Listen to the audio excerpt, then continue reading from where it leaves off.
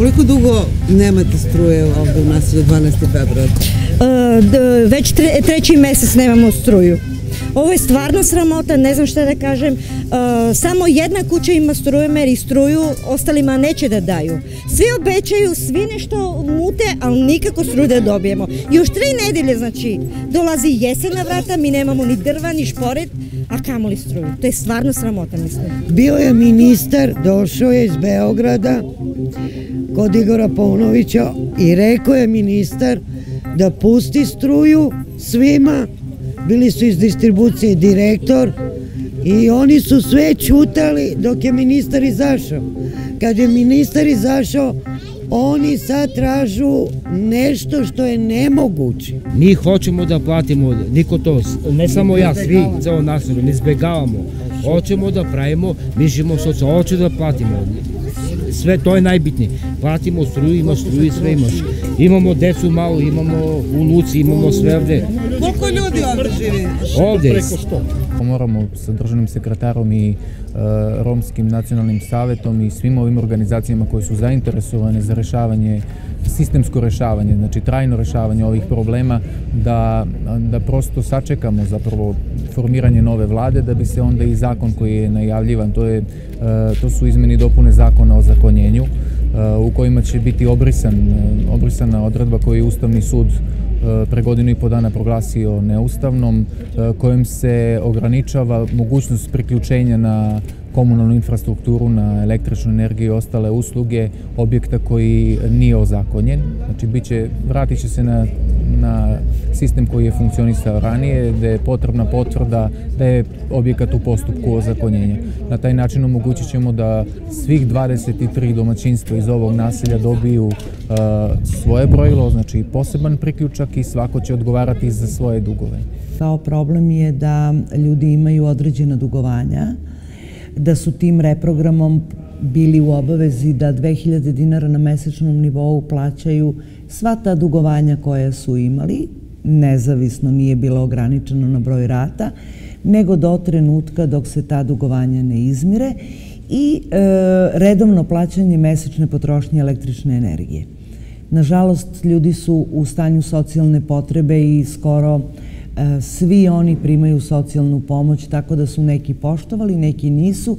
Međutim, s obzirom na to da imaju jedno napajanje i da je policija došla do e, saznanja krađe struje upravo u naselju 12. februar, po preporuci Ministarstva unutrašnjih poslova oni su isključeni sa mreže.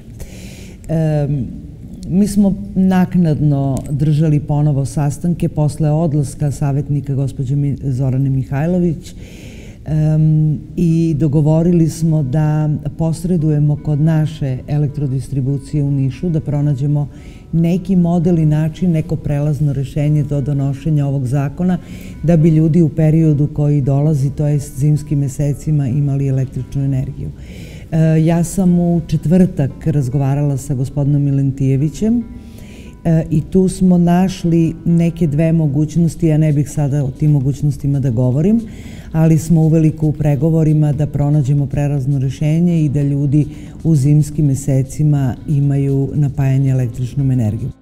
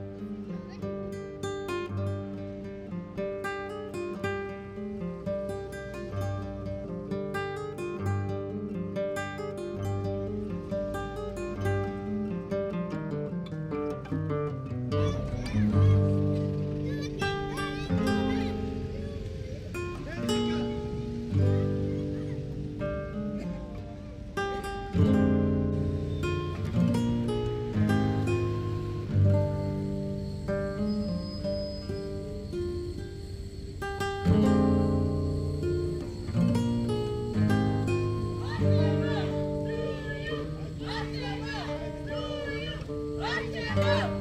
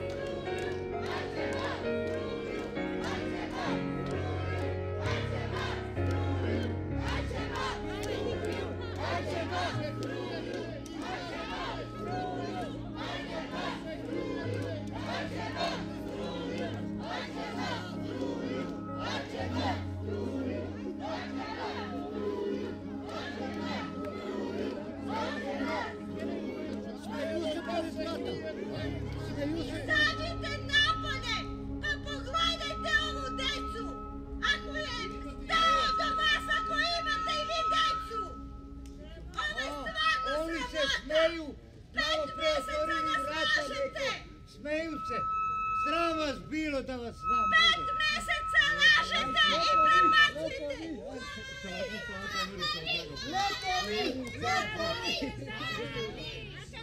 Izađite napolje, gospodice Sotirovska!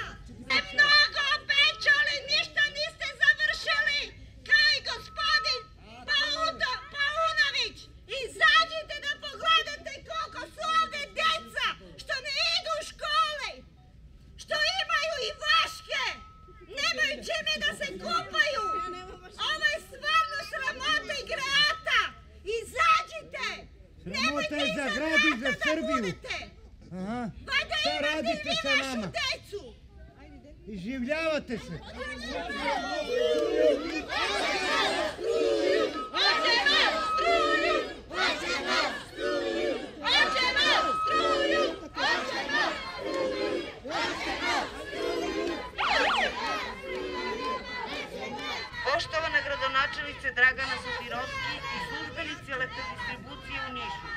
Romsko naselje 12. februar u Nišu ima decenijski problem sa električnom energijom, zbog čega deca nemaju uslova za učenje, niti romske porodice za spremanje hrane i normalan život.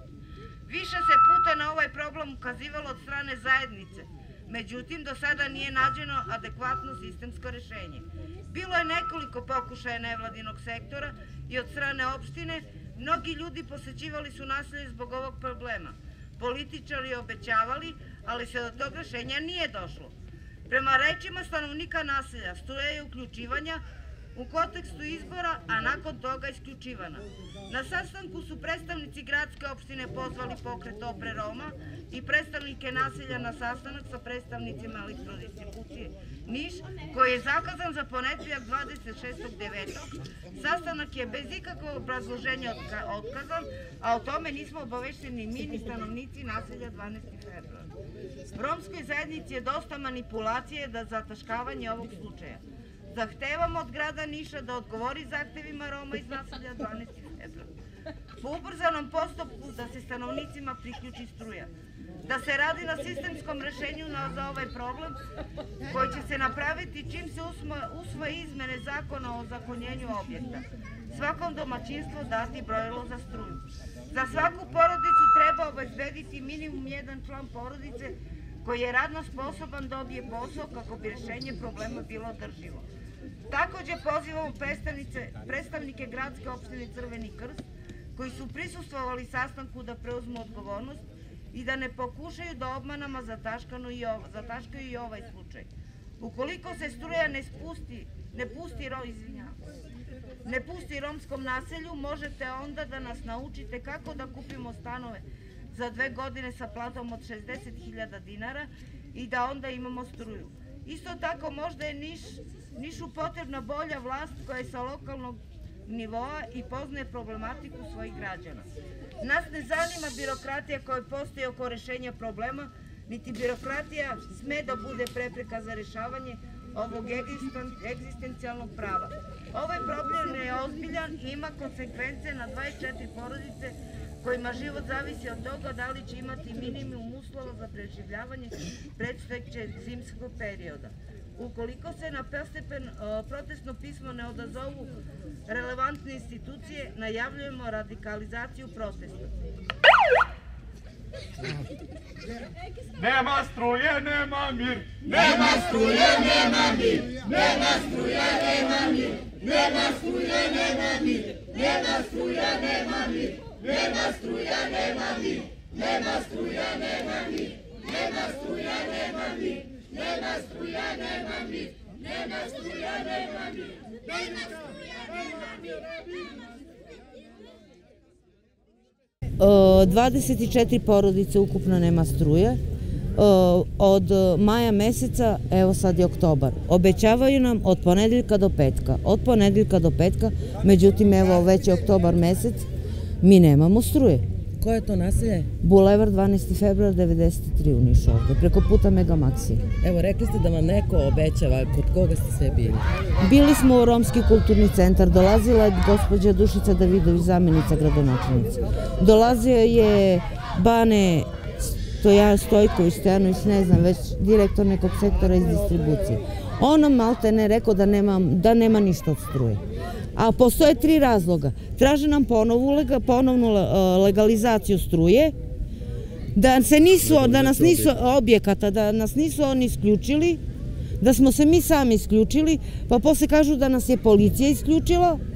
Mi u stvari ne znamo zašto nemamo struju. Postoje tri razloga. Mi hoćemo da radimo, hoćemo da plaćamo. Mi smo plaćali potrošnju. Ovo nije jed, ovo je četvrti put da nam ovo radi. Mi smo pa, plaćali potrošnju, ali one traže da se plaćaju neka dugovanja iz 70. godina. Ja tad sam išla u osnovnu školu. Ja to nisam ni, mi to nismo ni potrošili. Tu, tu I kako sad živite? Nikako. Kako možemo da živimo? Nemamo struje, nemamo hrane, ne rade frižideri, mašine. Ja sam žena operisana, imam sedam operacije tumora, nažalost. Ja moram svakog drugog dana da perem. Jeste vi prijavili bili ovaj skup? Prijavili smo. Ima, imam kod mene u novčaniku sve. Jel očekujete sada neku reakciju i šta ćete dalje ako ne bude? Predali smo pismo, ako ne bude ničega, ponovo ćemo da dođemo, gladovat ćemo štrajko ako treba. Ako ne, prijavit ćemo se u prihvatne centre ovde u, u našoj državi ili u neke kuće za beskućnike, jer ovako više ne može da se živi.